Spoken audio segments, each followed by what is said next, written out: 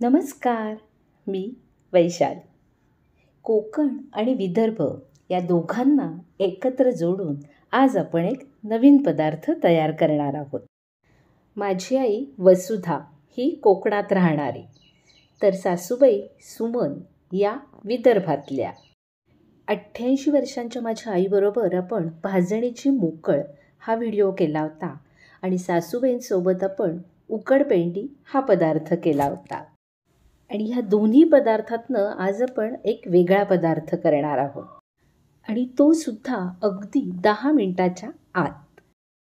तर सगळ्यात आधी कढईमध्ये आपण तेल तापत ठेवलेलं आहे आणि इथे तेल तापत असतानाच मी त्याच्यामध्ये मोहरी घातलेली आहे. हा सगळा पदार्थ करत असताना सुरुवातीपासून शेवटपर्यंत गॅसची ज्योत आपल्याला एकदम बारीक ठेवायची आहे. मोहरी तडतडल्यानंतर मी त्याच्यामध्ये घातलं आहे जिरं आणि हिंग. आणि लगेच हळद घालायची आहे. हळदीचा कच्चेपणा जाण्यासाठी एक दहा ते पंधरा सेकंद हळद अशी परतून घ्या. नंतर ह्याच्यात घालायचा आहे बारीक चिरलेला कांदा.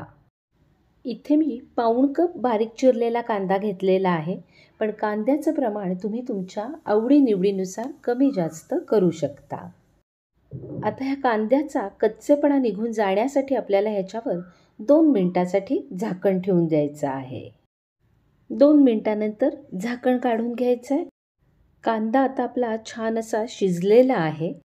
आणि तुम्ही जर का खूप गडबडीत असाल तर या कांदा शिजवताना याच्यामध्ये अगदी दोन ते तीन चमचे पाणी वापरलं तरीही चालेल.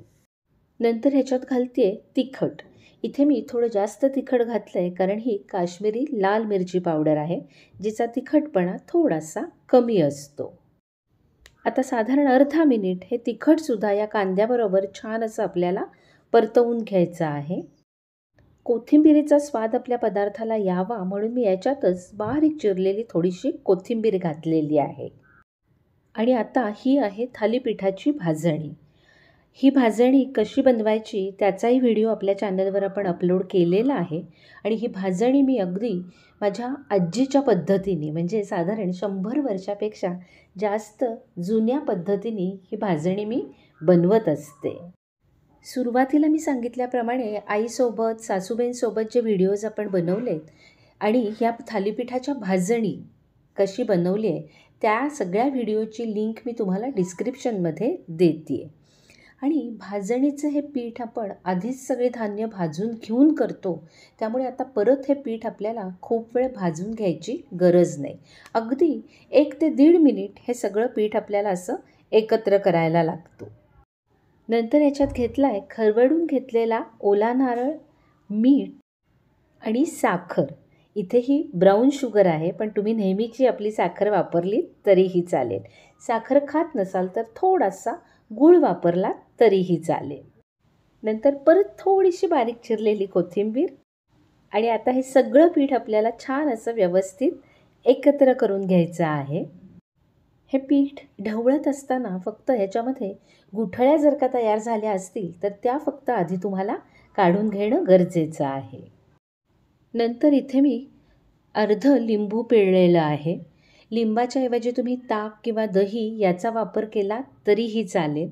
पण आमच्याकडे हा पदार्थ खाताना दह्यासोबत खातात. म्हणून मी थोडंसं लिंबू पिळलेलं आहे. आणि आता ह्याच्यामध्ये आपल्याला पाणी घालायचं आहे. हे साधंच आपलं रूम टेम्परेचरला म्हणजे नळाचंच आपण घेतलेलं पाणी आहे. इथे पाण्याचं जे प्रमाण आहे ते मी दीड कप पिठासाठी पावणे दोन कप पाण्याचं प्रमाण घेतलेलं आहे. पण तुम्हाला जर का थोडीही सैलसर करायची असेल तर पाण्याचं प्रमाण वाढवलं तरी चालतं. आत्ता सुरुवातीला बघताना आपल्याला वाटतं की बापरे आपल्याकडनं पाणी जास्त झालं का? पण अजिबात काळजी करू नका. हे जे पीठ आहे हे पाणी व्यवस्थित शोषून घेतं. आणि लिंबू आधीच पिळून घेतलेलं असल्यामुळे पाण्यामध्ये तो रस सगळा छान मिसळतो आणि सगळ्या आपल्या पदार्थाला लिंबाची चव सगळीकडे एकसारखी मिळते. तर आता हे सगळं एकदा छान असं आपण एकत्र करून घेतलेलं आहे. आणि आता ह्याच्यावर झाकण ठेवून आपल्याला ह्याला वाफ आणायचे साधारण तीन मिनटांसाठी. पण एक ते दीड मिनिट झाल्यानंतर एकदा झाकण काढून घ्या आणि हा पदार्थ परत एकदा व्यवस्थित एकजीव करून घ्या. आता तुमच्या लक्षात आलं असेल की आपण जे पाण्याचं प्रमाण घेतलेलं होतं ते अगदी बरोबर होतं. आणि एकदा हे परत सगळं मिश्रण व्यवस्थित एकजीव करून झाल्यानंतर परत ह्याच्यावर झाकण ठेवायचं आहे एक ते दीड मिनटांसाठी. दीड मिनटानंतर झाकण काढून घ्यायचं आहे आणि आपला हा पदार्थ अगदी छान असा तयार झालेला आहे.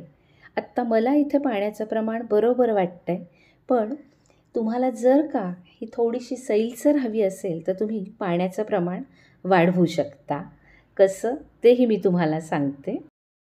तुमच्या आवश्यकतेप्रमाणे आत्तासारखं साधं पाणी याच्यात असं बाजूनी सोडायचं आहे आणि हे छान परत असं एकजीव करायचं. आणि अगदी छान असं सगळीकडे हे परत पाणी एकजीव होतं. वर झाकण ठेवून अर्धा मिनटासाठी परत वाफ आणा. अर्ध्या मिनटानंतर झाकण काढायचं आहे वर बारीक चिरलेली कोथिंबीर आणि थोडासा खरवडलेला ओला नारळ घालायचा आहे. अगदी झटकीपट होणारा गरमागरम नाश्ता खाण्यासाठी तयार आहे. व्हिडिओ आवडला असेल तर लाईक करा कमेंट करा शेअर करा आणि हो चॅनल सबस्क्राईब करायला विसरू नका. भेटूया पुन्हा पुढच्या भागात. नमस्कार!